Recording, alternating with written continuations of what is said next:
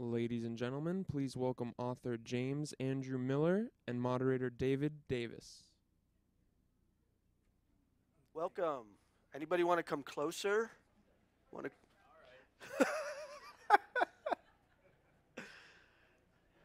well, thank you. Thank you for coming. I want to also, to begin, just want to say thank you to the organizers who've been great. Um, and I, this is my show and tell. This is J- Jim's book, just in case you haven't seen it and see how thick it is. Unbelievable work. Uh, few, yeah. 550 different people interviewed for this book. It's an oral history. Highly, highly recommend it. We're just going to touch on a few subjects, but this is well worth your investment. And if you have any interest in sports, if you have any interest in television, if you have any interest in the entertainment world, uh, this will help you as a guide, as a reference. So anyway, Well, I think we should end it right there because it's not going to get better for me than that.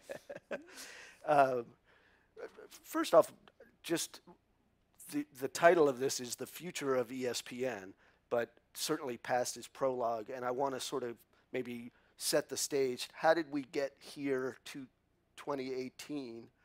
Worldwide leader in sports and all that. You've probably heard da da da da da da more than anybody outside Bristol. Um, how did this scrappy little underdog from 1979 get to where we are now?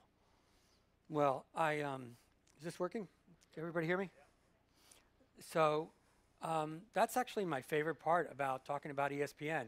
Uh, I don't know how many of you are familiar with it, but I'm just going to give you like a one-minute history, which is this guy named Bill Rasmussen was working in Hartford, Connecticut, and he gets fired on a Friday afternoon. Um, he was working for Gordie Howe, the uh, the hockey great, and he's unemployed, and he hooks up with a friend who was working for Aetna Insurance. So there's nothing's making sense so far, right? And uh, they were going to uh, do balloon rides and Connecticut basketball at local cable stations. So their their goal was to like tape a local basketball game, put it on a bicycle or in cars, and take it to all these little mom and pop cable stores, cable stations around Connecticut. This is 1978. And then he met this guy named Al Parinello, who, by the way, is still alive and one of the most interesting guys. He's working for RCA, and his job is to sell something called a transponder on the first satellite that RCA has going around the world, going around the Earth. And at the time, there were seven transponders on it, and they only sold three of them one to HBO, one to Ted Turner for Atlanta Braves, and another one. And they were just talking, and he goes, You know, I think this is the future. And uh, so somehow Bill and his son, Bill Rasmussen and his son, they said, uh, Well, do you have any more? And he goes, Well, we have one, but we just took it off the market because nobody wanted it. He said, What was that? He said, Well, it's a it's a 24 7 transponder. Because you remember the old days? Did you guys remember? It, HBO used to go off at midnight. Remember, you couldn't watch movies during the night. They go, well, this this one, 24/7. Nobody wanted that. And Bill goes, well, we'll take that. Let- let- We'll take that. And they had no idea how to pay for it. He just said yes. He committed to it on a Thursday. That next week, I believe, the Wall Street Journal did a big story about these transponders and RCA, and the whole world wanted one. Meanwhile, Bill's sitting there with it. And fast forward to 20 years later, ESPN's bringing in 12 billion dollars of revenue to parent company Disney. It is literally the greatest media success story of all time. When Disney bought Pixar, they were using ESPN money. They were using money that ESPN had made for, for Disney. It makes more than the amusement parks, the movies, everything else. And my mother, who, God bless her, has this cable TV, right? Every single month, $7.50 of her cable bill is for ESPN. She's never turned it on. She never turned it on. So a couple of years ago, they had 100 million homes paying $7.50 a month. So you have NBC, I'm sorry, I'm just going No, to real quick wrap this up for a second. No. I'll tell you how you, you get to be successful. You have NBC, ABC, and CBS over here. They're selling advertising time. You have ESPN over here. Oh, they're selling advertising time too. But PS, they're getting $7.50 a month from $100 million homes. Who's going to win that? So I don't know if any of you remember ABC Wide World of Sports. It's gone. It is no more. ESPN, the mouse ate the lion. And uh, I mean, it's still, despite its issues, phenomenally successful. So that in two minutes is the history of ESPN. Right, and we'll we'll go into some of the challenges facing the future. But you, you mentioned um, what about 100 million subscribers, and yet within the last 10 years or so, the last decade, things are starting to creep down in that vein. So the last four years, they've lost about 13 million homes. And I felt like such a dinosaur because I was moving my son in to his new apartment after he graduated from college, and I said, uh, "Do we have to wait for the cable guy, you know, to come and install?" He looks at me, and goes, "Dad, what are you talking about?" I go, "Well, the cable guy, you know, I bought you a TV." He goes, "I'm not getting cable. Not going to spend $200 a month." He's got Apple TV, and he streams everything for free. So that's why there's been layoffs at ESPN. That's why the tremendous growth is no longer like this. And there are some other reasons as well. And certainly one of the things I want to talk about in terms of getting to the present about ESPN, um, for so long they were that mouse, that, and not Disney mouse, but just the mouse, underdog, scrappy. They're in Bristol, Connecticut. They're not throwing big, big parties Hollywood style. Um, but there was a cult that grew uh, among sports fans who couldn't get enough of this. They had personalities that people clung to. Was that something that they worked on? Was that something organic that led to the success of ESPN? Yeah, that's a great question. Um, I thought about it a lot and uh, write about it in the book. So I think this answer starts with that word Bristol.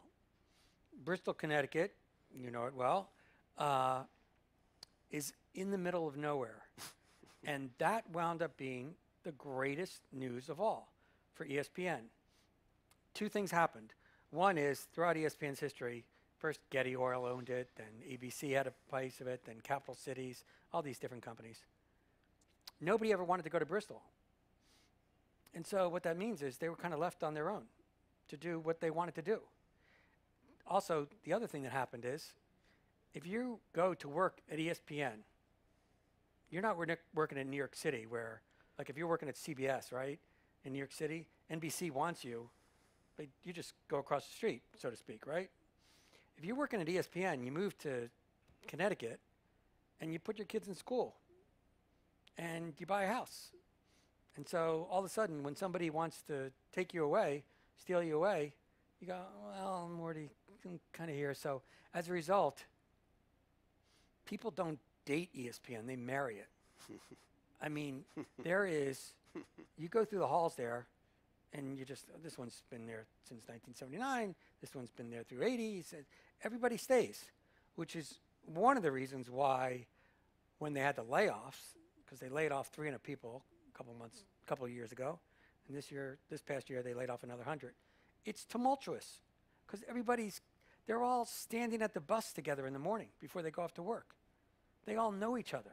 They're not just anonymous colleagues that, you know, are lost in the naked city of New York City. They're like neighbors.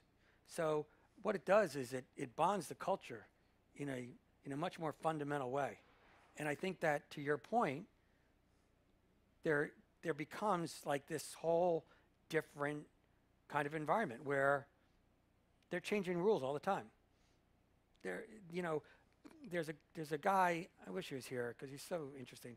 There's a guy named Bill Fitts, and he was one of the early producers at ESPN. You know what he- they used to do when um, Bill used to do when they covered an annual event? He used to go and take all his notes for the production. At, at another network, they put him in the file, right, for next year. So you know how to do it. He would take it, and he would burn all the notes in front of everybody. So because next year, we're not going to be bothered by how we did it this year. next year we're going to come up with all new ideas. We're going to pretend we've never done this before.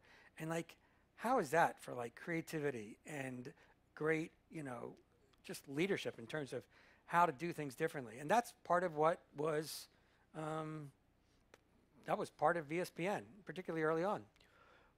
And certainly one of the other um, sort of bellwether innovations, as it were, um, was uh, Sports Center, which uh, most of you probably know. Sports Center being sort of that nightly news recap with the highlights, et cetera. And it and it used to be squeezed into the halftime at a, you know, Monday night football game. Um, and it became, I guess, one of their one of their lead, uh, one of ESPN's lead. How did how did Sports Center grow and mature and become what it is today? Well, maybe what it is a few years ago, which is the nightly source that you had to, if you were in the sports industry, tune into and and, and, and watch. Well, remember, before Sports Center, even if you, uh, you watched your local news, it was four minutes. Remember, the guys would talk so fast. And I do mean guys because there were very few women doing it. They would do so fast. When ESPN went on the air, September 7th, 1979, Sports Center was on the first night, and it's been on ever since. And it was 30 minutes. And everybody goes, What are you talking about? Walter Cronkite's 30 minutes. Like, how are you going to fill, fill 30 minutes of sports? It turns out you can. And sports fans loved it because not only did you get to see the scores, but remember back in 1979, how are you going to see highlights? You know, how are like if you if you lived in Arizona, but you had moved there from Boston and you're still a Red Sox fan, you get to see Red Sox highlights. You get to see all the different sports. There's no way local sports covered all that. So as a result, it became a phenomenon. And then in the 1990s, people like Keith Olbermann and Dan Patrick and Rich Eisen and Robin Roberts and Charlie Steiner and Bob Ley, all these people, the personalities came out, Chris Berman, everybody, and they were just, they became celebrities. The only problem that happened to Sports Center is uh,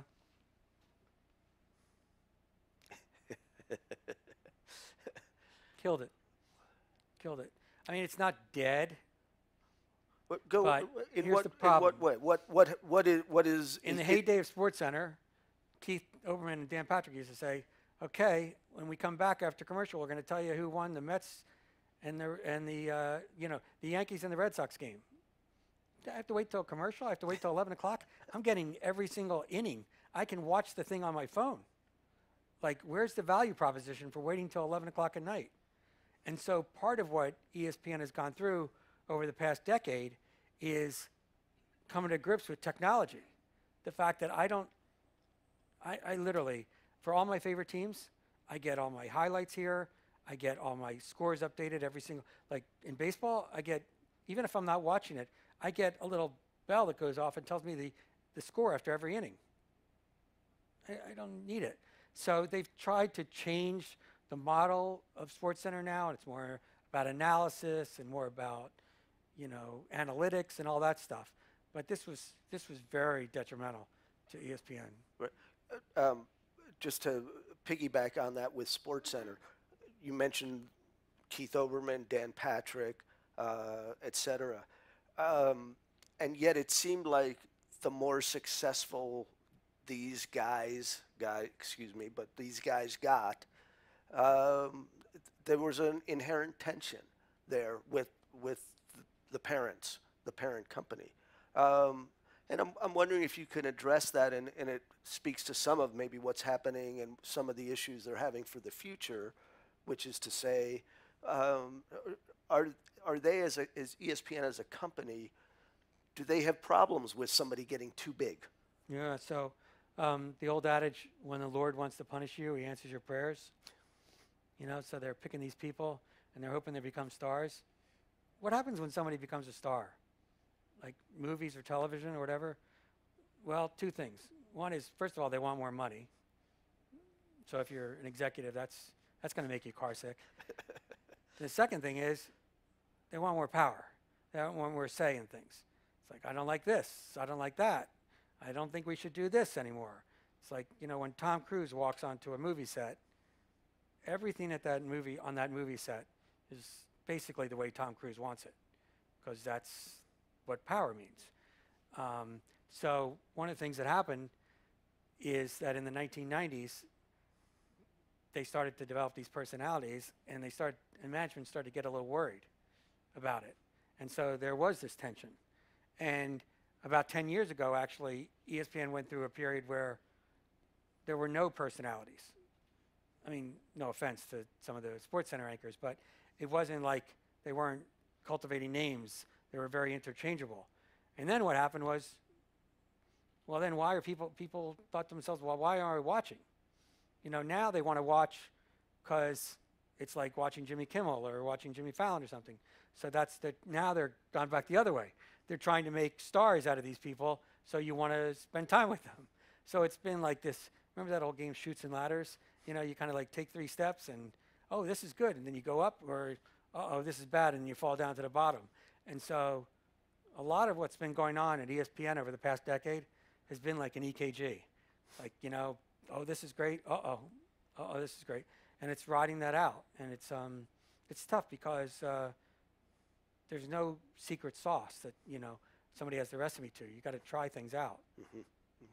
Um, you mentioned how ESPN has had its various incarnations in terms of like investors slash owners, from um, Getty Oil, which uh, didn't seem as complimentary as maybe others. You want me to tell you the Getty story for a second? It's a great story. Yes, of course.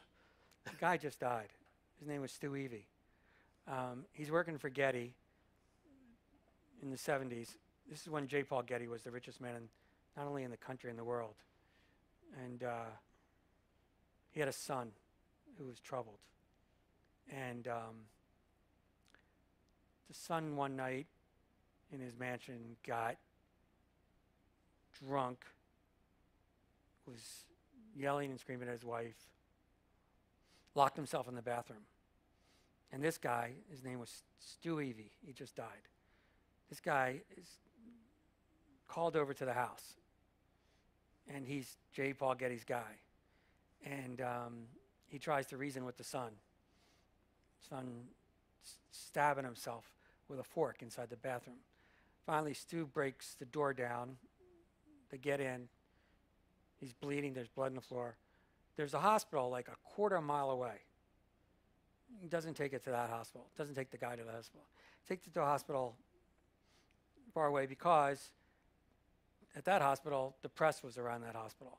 And the press monitored that hospital and everything. He wanted to keep it quiet. So he takes him to a hospital far away, and lo and behold, the guy dies. First of all, he calls J. Paul Getty after his son had died and just said, Listen, just want to give you an update. I'm at the hospital. Your son is in the hospital, but we don't know how it's going to be, but it, you know, just hang on. So I said to him, by the way, so you lied to J. Paul Getty? You go, well, I didn't want to tell him all the bad news all at once. It's like, okay.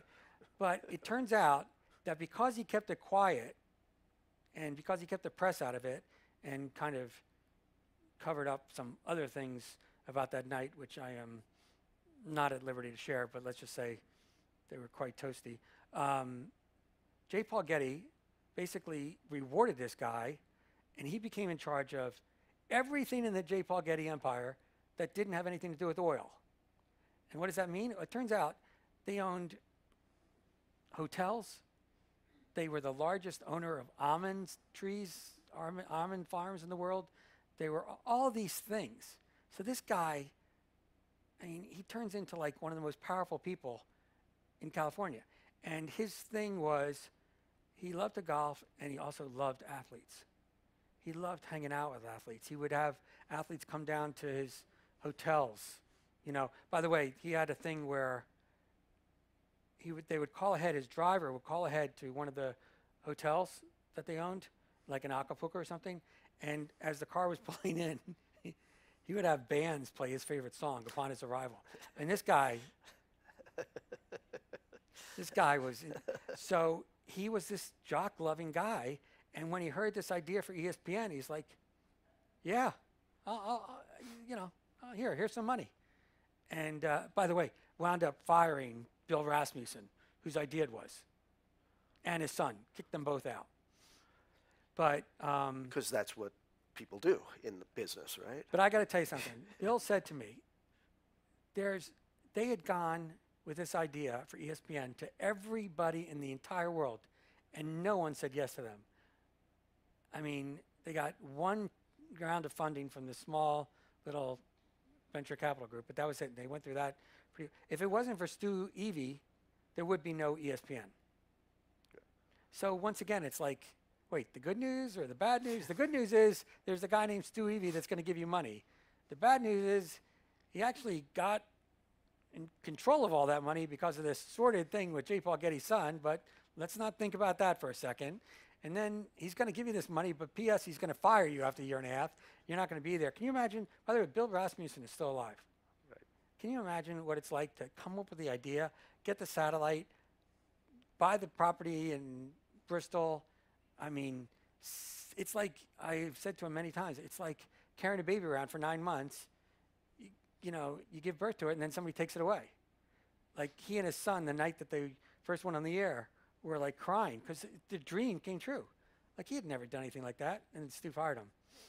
Well, now, present day, uh, Disney owns what, 80% and Hearst owns 20? 20. Is that still, that's still the ratio? So let's talk about then, primarily with Disney um, and being a public company, et cetera. How is that relationship? How has that evolved? And when we talk about today and then to the future of ESPN, you know, I'm a, let's say I'm a shareholder. Um, am I looking at ESPN as high value or am I looking at it as, wow, those rights fees for the NFL are going through the roof. I don't want to pay X billion uh, with, with my public money. Yeah, so it's quite the story, right? Um, you know, Disney owns Pixar, right? They bought Pixar, Steve Jobs' company, the animation company. Um, they bought it with money that ESPN made. ESPN delivered a ton of money to Disney. I alluded to that before. And for a while there, not to get too mathematical, but every single year, ESPN was getting 20% compounded growth on their on their cable bills. I mean, just think about the money. It was it's just it's enough to make you a Bolshevik. I mean, it's like so much money that they were giving to Disney. And as a result, Disney was kind of like we like this, we like this. And then all of a sudden it started to slow down. And also, as you alluded to, they were starting to they had to pay their contract with the NFL for Monday Night Football was $15.3 billion. They spend $2 billion a year on 16 football games. So all of a sudden, you know, the profits weren't as big. And what did Disney say? That's okay, thanks so much. No, they said it like, remember in Goodfellas, where the guy says, F you, pay me? F you, pay me? That's what Disney was like. Come on, come on, let's figure out a way to pay me. So that's why they had to lay off people, stop doing some of the things they did. Um, look, at this point, if you're a Disney shareholder, let's not feel sorry for ESPN. It still makes a lot of money. It's still very relative, re- relevant. It's got no competition in terms of there's nobody else that can do what ESPN can do. It has competition in certain areas, but there's no other company the size of ESPN. But they still have a lot of struggles behind. And I think that the bottom line for me, at least, is you're never going to see the kind of growth from ESPN again that we saw from 1988 to 2010. Never going to happen again. But can still be successful. Right. And I appreciate you walking us through. And I always, talk about with sports, you know, there's sports and what happens on the field, but it's such a bigger story always, culturally, uh, television wise, business, and it's a business story at, at the end of the day. And going into that a little bit deeper, now that we're sort of present day, this is the reality here. Um, let's talk about what's been what ESPN is facing. So we talked about cord cutting with the younger generation. Uh, we talked about uh, so that means cables less, uh, viewers.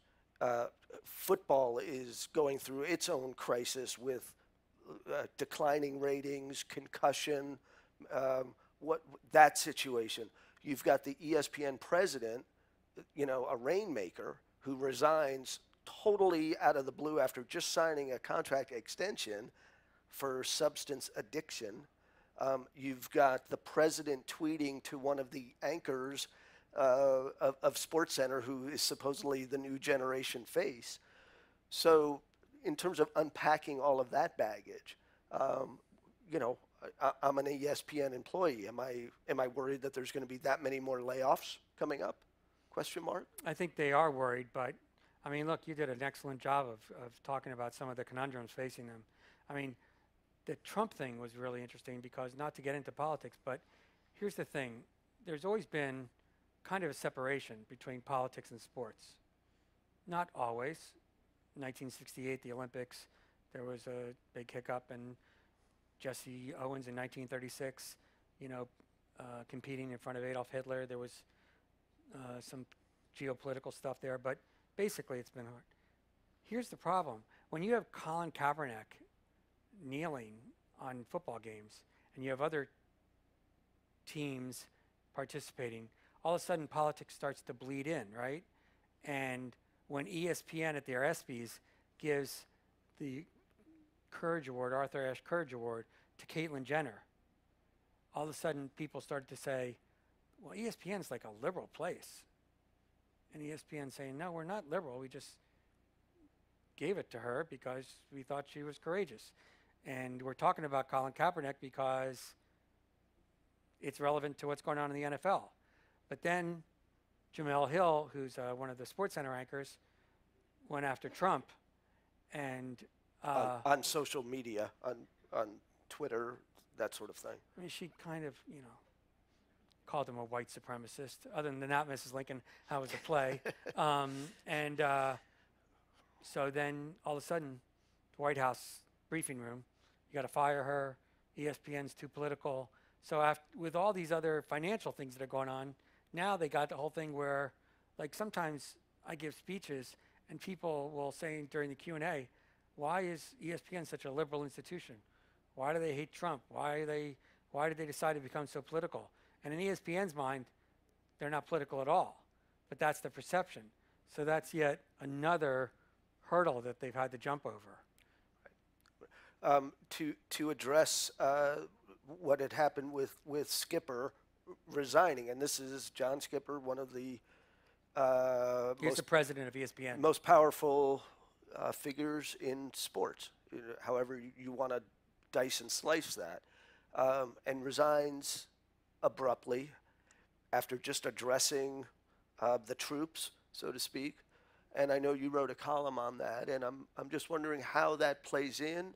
What is the successor looking like? And does that change the path of ESPN, whether it's the philosophy of 30 for 30 and those documentaries, or how to look at Sports Center, that sort of thing? So, uh, let's see. On a Wednesday in December, John Skipper called the talent from all over the country to come in and addressed all the employees. Part of it was about social media. Watch what you say on Twitter because whether you realize it or not, you're a public figure and we're going to hold you accountable. Part of it was trying to assuage fears about the future talking about we do have a plan, we do have a strategy. And he said, you know, I believe in this. I believe in all of us. We're going to get through this together. That was Wednesday. That Monday, Monday morning, he, he sent a memo to every ESPN employee saying he was retire- resigning because of a substance abuse issue. John Skipper is 62. Um, I don't know if any of you have ever heard him talk. He's got a master's in literature from Columbia. He's like a really smart, lovely guy. Um, it turns out that he did have an issue. I wrote a column which, you know, was a little disruptive because I said I didn't believe that he uh, he resigned. because um, I believe he was pushed out. Basically, I said he he didn't jump; he was pushed. And um, what I believe happened was that Disney wanted to make a change, but because Skipper was so popular, they couldn't fire him because if you fire a popular president, two things happen, right? All the employees grab pitchforks because they're mad, right? They're, they, how dare you do this? The second thing is whoever replaces that person has like a bullseye the size of Texas on their back because it's like, oh, you're the one who came in and took away our beloved leader. So I think it was kind of a Machiavellian ploy to have Skipper admit his substance abuse problem and say he had to go around fix it. I mean, look, I think you go to treatment facilities around the country, they're full of executives. Pe- people basically say, hey, you know what? I got a problem. Give me 30 days, 60 days, 90 days, or whatever. I'm going to try and conquer it, and I'll be back. And most companies say, okay. Because if, you know, if you, if you support somebody and you believe in them, that's what you want them to do. You want them to get better. And we all love a success story. And, you know, that's great when somebody triumphs over that. So I did not buy it for one second. And I was really pleased after the article came out that so many people said, ah, I felt the same way. Or, I, you know what, come to think of it, I agree with you. Um, so a lot of people were pleased about it. Uh, for some reason, Disney was not pleased about that comment. I, I can't get it. Wh- Where do you think that came from within Disney? I mean, does that go all the way up to Iger? I mean, how, how does that? Uh, Yeah, a decision like that. Yeah.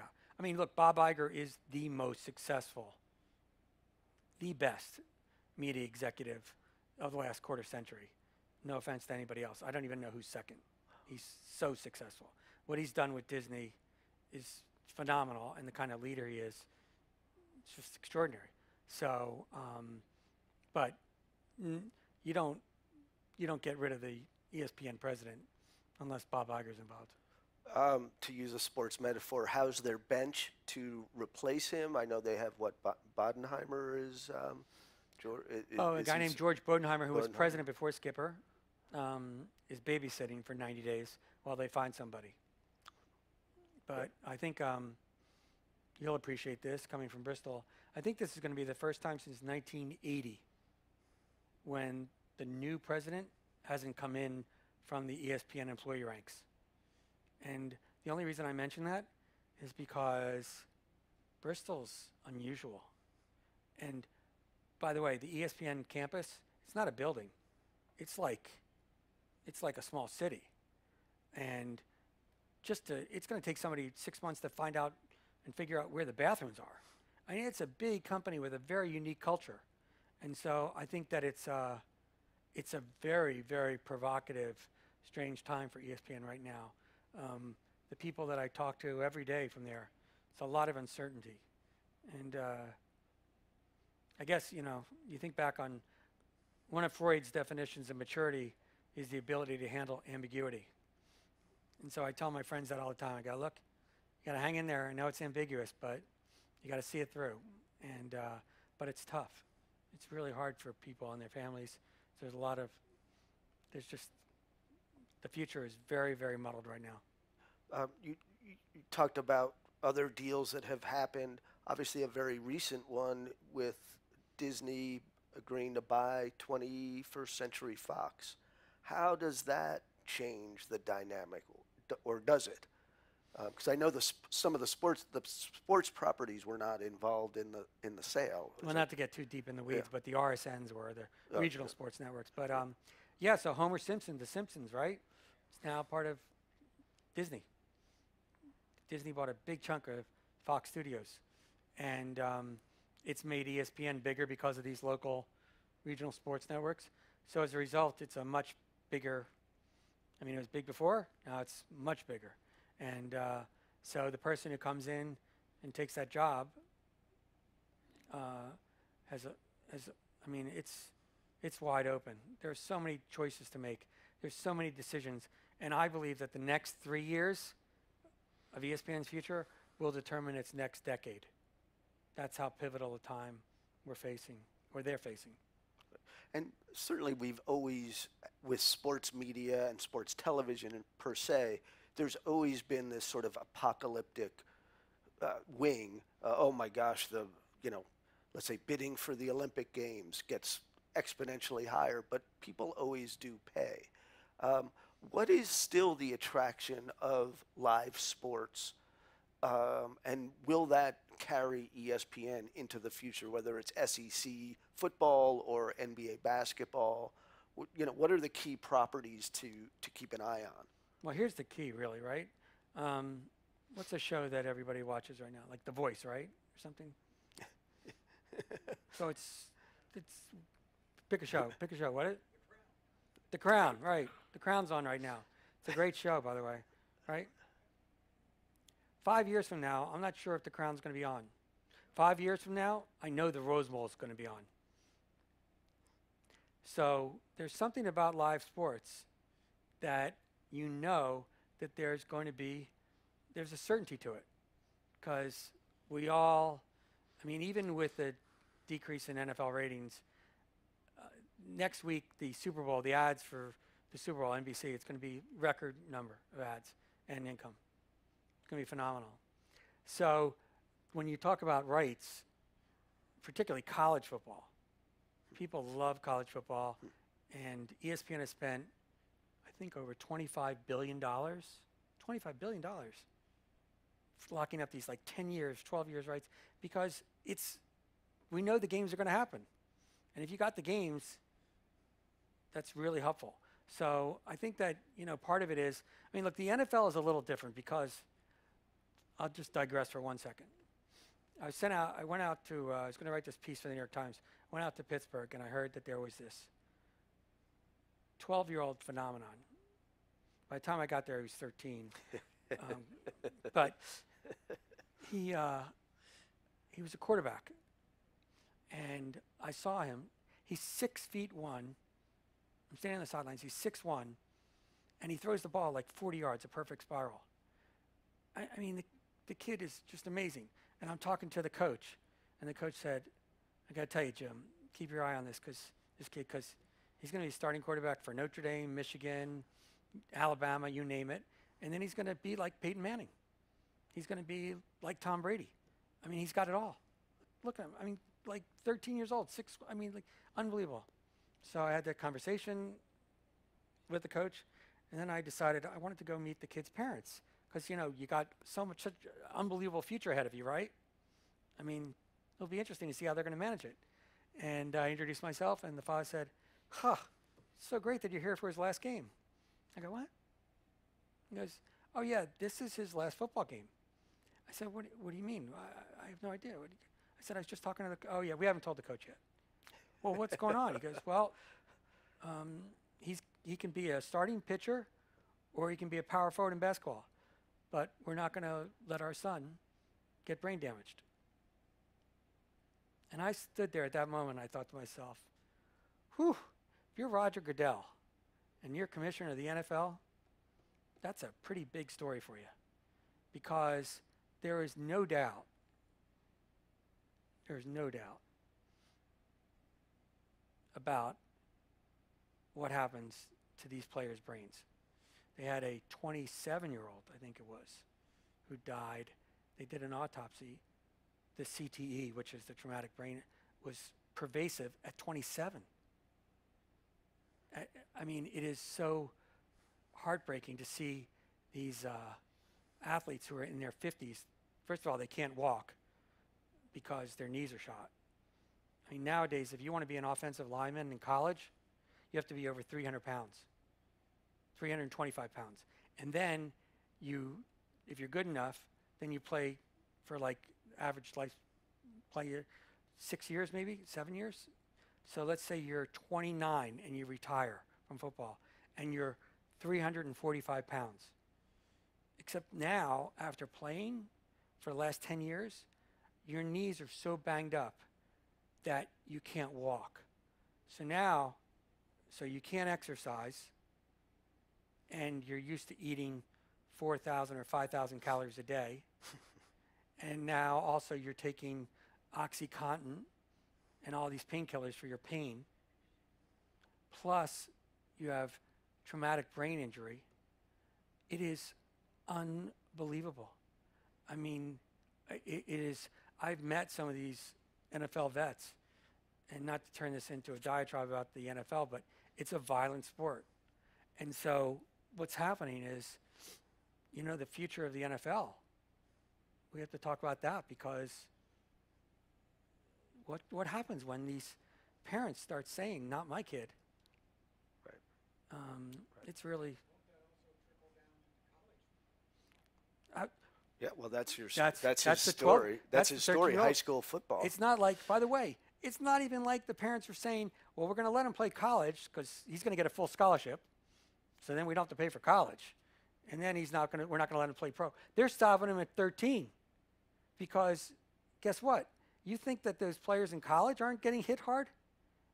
I mean, you know, Well- so this is, this is, Yeah, well, this, your your story of the uh, high school quarterback phenom changed. I mean, it's a different story now. It's this is possibly a future uh, for sport and for great athletes who might have chosen football ten years ago. Let's say, I mean, it's great news for baseball and basketball. sure, or others. Yeah, well, let's. We have a few minutes, so would gladly like to hear from the audience.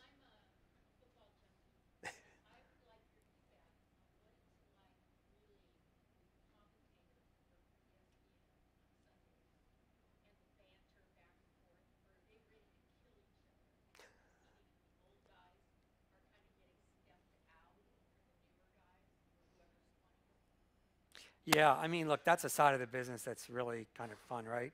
I mean, Jon Gruden, who used to be in the Monday Night Football, he just signed a $100 million deal to coach the Oakland Raiders, and now they're trying to figure out who to replace him. Um, NBC just announced yesterday that Bob Costas is not going to be doing the Super Bowl this year because he's been going around talking about how he thinks football is a dangerous sport and it's painful to watch, and he's worried about the players' health. So he's not going to be doing the the Super Bowl. Um,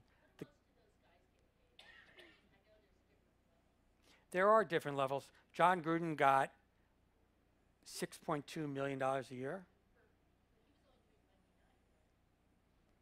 And some That's 16 Specials. Mondays. I mean, look, he did some and other shows. he did some other shows and uh, whatever, but you Yeah. know, um, He watched a lot of film. rich or poor, it's good to have money. I mean, that's a pretty good salary. Uh, look, some of them, you know, I mean, it, you if you get to that stage, you're getting a lot of money. Um, Tony Romo, who was quarterback for the Dallas Cowboys, he is, he is phenomenal. Yeah. By the way, I there was a game, I guess week 14. It was not the greatest game. By the way, that's another problem the NFL has. Big time. When we were growing up, Big time. every single team had four stars, three or four stars that you knew. Now, it's it's ridiculous. There's there's not enough stars to go around. But there was a it was a pretty weak game. But you know what? I wound up watching a lot of it just because Tony Romo was calling it, and it was so entertaining. and he's it's- he's teaching you wa- watching the field. He is he's fantastic. Peyton Manning may be joining the booth. Um, Right. maybe joining the booth. What what do you make of replay and how that has disrupted the rhythm of watching football on Sunday and, and you know, extended it? It's cost benefit because uh, look, there used to be some bad calls that would take away a championship or take away a victory, an important victory. And now, at least, you know, I mean, it's a pain in the neck, but at least you know the calls are going to be right. Right. Uh, sir, did you have a question? Yeah. What's the future of Chris Berman? Chris uh, is semi-retired. He uh, he was on last Sunday actually for the first time this season. Um, by the way, the couple months after he semi-retired, he lost his wife in an awful car crash. Just so sad. They had just built a beautiful home in Hawaii. Hawaii, It was just the saddest thing in the world.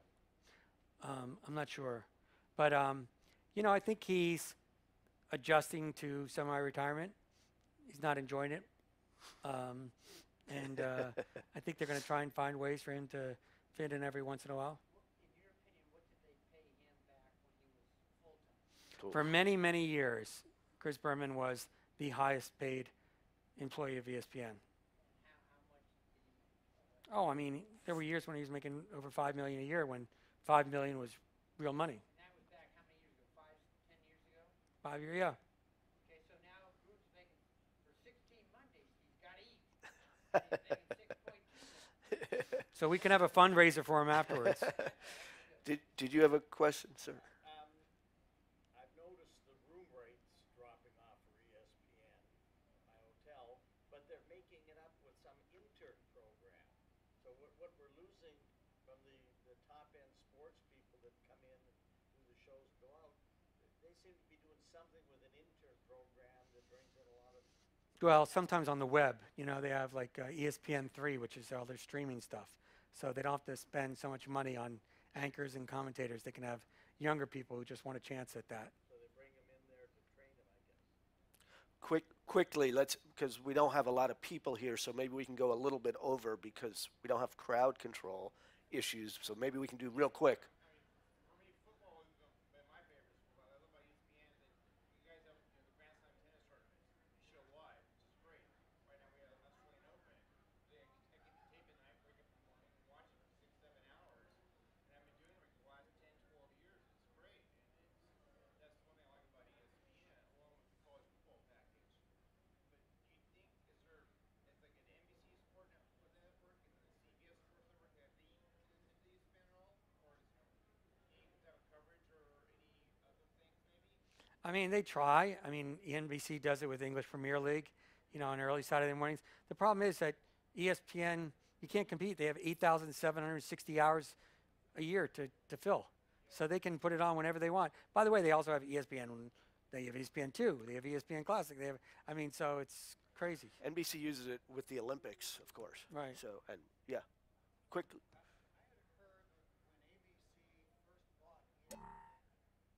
considered moving everything into the city, but then realized that there were some union issues, decided to keep it out in Bristol. Is that true? It's part of the equation. First of all, they, I mean, capital cities. Cap Cities owned it, but uh, yeah, it, in Bristol there was no union, so it was a lot cheaper um, to keep it there. and the and the kids didn't mind doing a little OT. They, so, you know, No rules. no rules. Yes, ma'am.